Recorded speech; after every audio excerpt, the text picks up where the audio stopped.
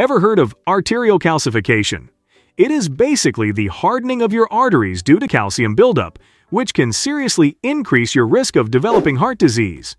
Studies show that nearly 1 in 6 people have some degree of this by their 40s, and it gets more common as people age. But there's good news! Vitamin K2 might help prevent or even reverse this process. It plays a key role in directing calcium to your bones and teeth where it's needed to keep them strong and resilient and keep it out of your arteries. In fact, one study suggests that vitamin K2 can reduce your risk of dying from heart disease by as much as 57%. But unfortunately, a majority of healthy adults, women, and even children don't take enough vitamin K2 in their diets, and even if you're taking K2, you might not be doing it right. In this video, let's explore some common mistakes to avoid when taking vitamin K2 and see how to maximize its benefits for your heart health. Let's begin. Number 1. Choosing the right dose. Many people get confused when it comes to K2 dosage, and there are two main reasons why. First, they might mix up K1 and K2. So, let's first clear this up. Vitamin K comes in two forms, K1 and K2. K1 is found in leafy greens and helps your blood form clots in case of an injury. On the other hand, K2 is the key player for your heart and bone health and it has two main subtypes, MK4 and MK7. MK4 is primarily found in animal and dairy products like liver meats, egg yolks, and cheddar cheese. It gets easily absorbed quickly by your body, but has a shorter lifespan in your system, lasting just around 1 to 2 hours. MK7, on the other hand, is found in fermented foods like natto and some types of fermented cheeses. It can stay in your system for 24 to 72 hours, allowing it to be more effective at reaching tissues beyond the liver, such as bones and arteries, where it can exert its beneficial effects. The recommended daily intake of vitamin K2 for adults is 90 to 110 micrograms for women and 90 to 120 micrograms for men, including both MK4 and MK7. So both the dose and type of vitamin K2 matters. Since MK4 leaves your body faster, you might need a higher daily dose compared to MK7. Number 2. Taking vitamin K2 without prescription. Many people focus solely on how much K2 to take and forget the key step of getting tested for a deficiency before starting supplementation. As mentioned before, the recommended daily intake for most adults is 90 to 120 micrograms of K2, but that's a general guideline. Your individual needs may vary depending on your health and lifestyle. Having too much of it can cause blood clots, while its deficiency can cause internal bleeding or slow wound healing. So don't self-diagnose. Talk to your doctor. They can test for a K2 deficiency and determine which supplements are right for you, along with the appropriate dosage based on your individual needs. Number 3. Taking vitamin K2 with certain medications. K2 can be a valuable addition to your health routine, but be aware of potential interactions with certain medications or health conditions. First up, Ask your doctor before taking K2 if you take blood thinners like warfarin. These medications work by reducing clotting factors in your liver. Since K2 activates these factors, taking them together may counteract the blood thinning effect. This can lead to dangerous blood clots even while you're on medication, potentially increasing your risk of having a stroke or a heart attack. Second, if you have diabetes, some studies suggest K2 may also affect blood sugar control. K2 can influence how your body uses insulin, which regulates blood sugar. If you take diabetes medications that increase insulin sensitivity, K2 supplements could potentially cause very low blood sugar levels. People with severe kidney disease may struggle to process K2, so they may need to avoid K2 supplements altogether, as it can cause severe complications. Plus, if you have high blood pressure or naturally high blood volume, High doses of K2 supplements could further worsen these conditions by potentially thickening your blood. Number 4. Taking vitamin K2 from supplements rather than foods. K2 supplements are an option, but clinical trials suggest that K2 from food might be more effective for your body. There are two reasons for this. First, K2 from food comes in a form that your body can absorb and use more readily. Supplements might not always deliver K2 in this perfect form.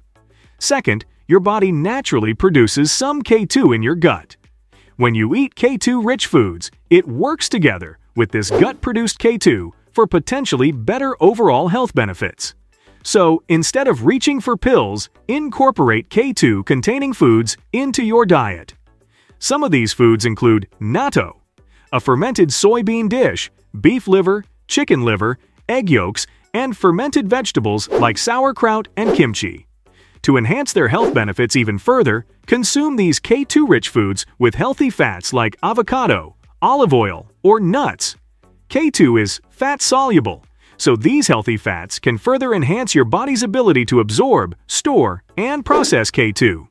Number 5. Taking too much vitamin K2 from foods and supplements. Firstly, as mentioned before, K2 plays a role in blood clotting. Very high K2 levels can potentially increase blood thickness or interact with blood-thinning medications, which can raise the risk of blood clots. Secondly, high doses of K2 supplements might cause diarrhea, nausea, and stomach cramps. This could be because high concentrations irritate your stomach and intestines, or your body struggles to absorb it all properly. Number 6. Not taking enough vitamin D with K2. When it comes to maintaining strong and healthy bones, vitamin D and K2 work together in a powerful synergy. While they each have distinct functions, their combined effects create a beneficial environment for optimal bone health. Vitamin D promotes calcium absorption within your intestines. It essentially acts as a facilitator, allowing your body to efficiently utilize calcium from your diet. This calcium then circulates in the bloodstream, ready to be directed to the areas where it's needed most. There, vitamin K2 comes into play by activating specific proteins in your body. These proteins bind with calcium so that it can stick to your bones and teeth, where it's supposed to be stored and enhance bone strength. This is also important for preventing arterial calcification, as mentioned before.